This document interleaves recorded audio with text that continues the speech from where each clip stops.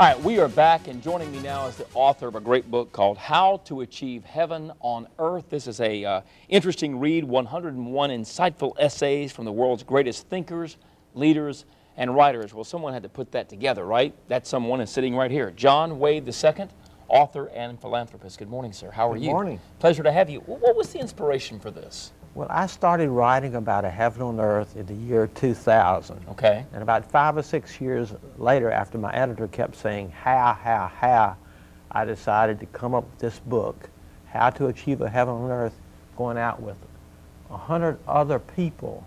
It ended up 101. Okay. But uh, that would support the premise of the 10 elements which I believe would be in a heaven on earth. Now, the book, three of those elements have been made into television episodes. A World That Works, Peace, Ecological Harmony, and Racial Harmony. Okay. So we've got both television Oh, cool. episodes plus the book.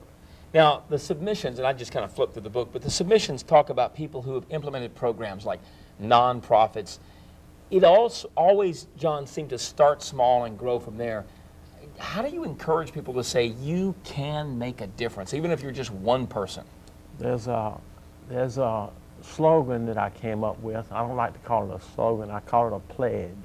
I will try to love and help create a heaven on earth. Mm-hmm. If you say that to yourself, it can be small things, it can be big things, it can be Give me In some between. Give me some examples. I mean, there's 101 different ones in the book. Give me a couple of examples of what people have done. Well, of course, you have big people like Reagan, the things that he did, straightening Right. out the economy, uh, uh, the Cold War, so much he contributed to ending the I, Cold I would War. say that made a pretty big difference. Right. Yes, that, that, that, that- and that's in the book. Uh, and then, then, then you've got uh, a Many Mothers uh, essay about uh, a person who uh, started caring for babies and, and, and, and, and organized a charity caring for infants at no charge to the, to the mother uh, of newborns Just to help. just to help, and it, and it, and it made such a difference. Well, if you would like to know more, especially about the TV programs, let's give you a website.